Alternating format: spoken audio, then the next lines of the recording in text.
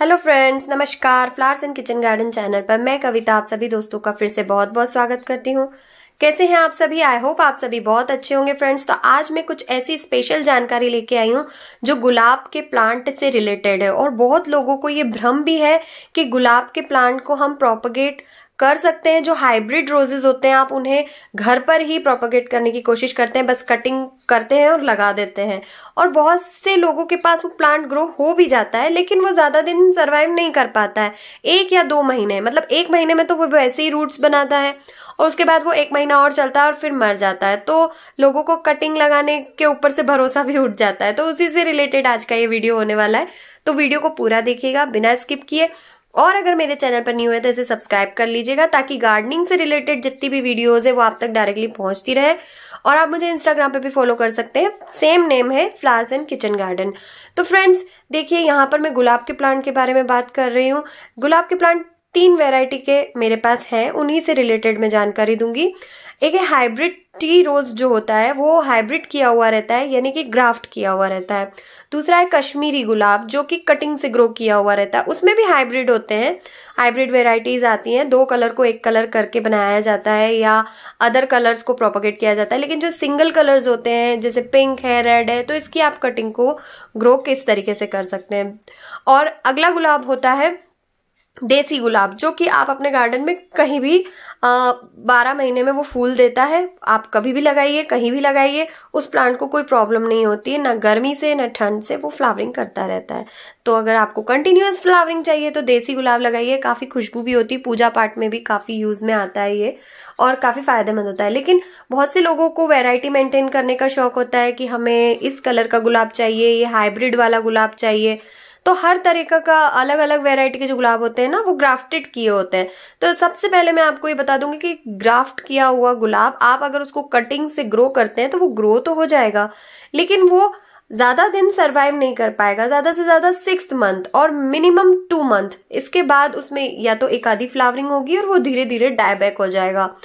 क्यों? क्योंकि उसकी कैपेसिटी इतनी नहीं है आपके यहाँ का जो मॉइस्ट एटमोसफेयर है, यानी कि जो गर्मी होती है, जो बारिश होती है, वो सहन नहीं कर पाता। इसलिए उसे ग्राफ्ट किया जाता है जंगली गुलाब के ऊपर। क्योंकि जंगली गुलाब क्या होता है ना, हर मौसम को मजबूती से रहता है वो, यानी कि उसकी जो जड़ें होती है, वो मजबूती से बनी होती है। जंगली गुलाब की, और उसी के ऊपर उसको हाइब्रिड करके ग्राफ्ट करके ग्राफ्ट वाली टेक्निक से उसको बनाया जाता है। अगर आप वो टेक्निक से ग्राफ्ट करके और उसको प्रोपोगेट करना चाहते हैं तो कर सकते हैं। आपको एक जंगली गुलाब का पौधा भी मेंटेन करके रखना होगा, लाके रखना होगा, ताकि उसी के ऊपर आप उसे कर सके, वरना आप नर्सरी से परचेस कर सकते हैं।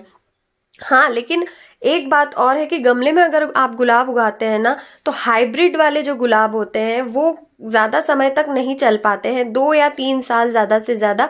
लेकिन अगर आपने उन्हें ज़्यादा गर्मी में थोड़ा सा शेड दे दिया और पानी अच्छे से डाला, और अगर आपने विंटर में उसे फुल सनलाइट में प्लेस किया और वाटरिंग ओवर वाटरिंग नहीं होने दी विंटर में तो ये बारिश में, ठंड में, गर्मी में, अगर तीन मौसम में आपने इसको संभाल के रख लिया ना हाइब्रिड टी को तो ये बहुत ही आसानी से आपके गार्डन में सालों साल बना रह सकता है। मेरे पास ऐसे भी हाइब्रिड टी रोजेज हैं जो पिछले तीन साल से मेरे पास है और मैं ये चाहती हूँ कि आगे भी मैं उनको संभाल के रख सकूँ ताकि मुझे दूसरे रोजेज ना परचेस करना पड़े। तो फ्रेंड्स हाइब्रिड टी रोजेज वो होते हैं जिनमें एक डंडी में एक ही फूल खिलता है यानी कि एक ब्रांच पे एक ही फूल आता है और या फिर दो या तीन फूल आ जाते हैं। लेकिन जो ज़्यादा गुच्छों में सात, आठ फूल आते हैं ना, वो फ्लोरीबंडा होते हैं। तो फ्लोरीबंडा भी हाइब्रिड वेराइटी होती है। उसको भी आप प्रोपगेट हाइब्रिड तरीके से ही कीजिए, यानी कि ग्राफ्टिंग वाले तरीके से, और उसकी ग्राफ्टिंग आपको अगर आती है तो आप ज़रूर कीजिए। अब कश्मीरी रोजेस की बात करते हैं तो कश्मीरी रोजेस को आप कटिंग से ग्रो कर सकते हैं, इजीली। वो अगर आपके आप उसकी केयर करेंगे तो वो आगे और भी ज़्यादा समय तक सरवाइव कर सकता है, उसमें कोई प्रॉब्लम नहीं है। इसमें आपको हाइब्रिड करने की कोई, आपको ग्राफ्ट करने की कोई भी ज़रूरत नहीं है। और लास्ट गुलाब के बारे में हम बात करते हैं, देसी गुलाब। तो देसी गुलाब तो आप कोई सी भी कटिंग ले लीजिए कैसी भी ले लीजिए और आप उसे लगा दीजिए। देसी गुलाब आसानी से चलने लगता है और उसको भी सर्दी, गर्मी और बारिश में थोड़ा ध्यान रख लेंगे। बारिश में तो खैर कोई बात नहीं, कोई प्रॉब्लम नहीं। ठंड में भी कोई प्रॉब्लम नहीं है।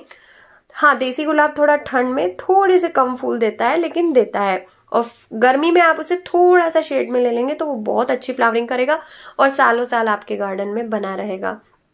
बहुत ही खूबसूरत फूलों के साथ ये जो गुलाब की जानकारी अगर आपको पसंद आई हो तो मुझे कमेंट बॉक्स में कमेंट करके ज़रूर बताइएगा। इससे रिलेटेड अगर आपको और भी कुछ पूछना है तो पूछ सकते हैं। ग्राफ्ट देखिए, इस तरीके से होता है। नीचे एक छोटी सी गिठान होती है, वहीं से हाइब्रिड किया हुआ रहता है और इस तरीके से प्रोपोगेट होते हैं। आई होप आज का ये वीडियो आपको पसंद आया होगा, जानकारी पसंद आई होगी। वीडियो पसंद आया तो वीडियो को लाइक कीजिए शेयर कीजिए, मेरे चैनल पर नहीं हुए तो सब्सक्राइब ज़रूर कीजिए। इससे रिलेटेड कोई भी क्वेश्चन करना चाहते हैं तो कर सकते हैं। मिलते हैं नेक्स्ट वीडियो में, फिर किसी नई जानकारी के साथ। तब तक के लिए बाय टेक केयर जय श्री कृष्णा।